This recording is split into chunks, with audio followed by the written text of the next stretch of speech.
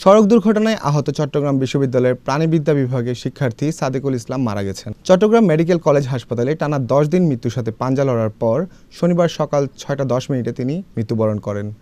তেইশে মে সাদেক নগরীর পলিটেকনিক্যাল মোড় এলাকায় টিউশনি করে ফেরার পথে পেছন থেকে একটি মাইক্রোবাস তাকে ধাক্কা দেয়। গুরুতর অবস্থায় তাকে উদ্ধার করে চট্টগ্রাম মেডিকেল কলেজ হাসপাতালে ভর্তি করা হয়।